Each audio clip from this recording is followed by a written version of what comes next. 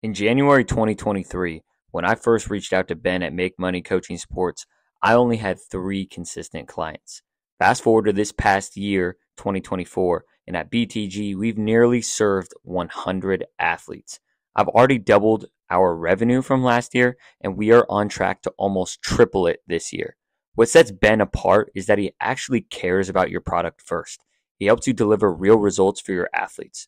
And then on top of that, he teaches you the business principles like marketing and sales that you need to stay in business for the long run. Honestly, this program has been more valuable for my earning power than my college degree. Sorry, University of Oregon.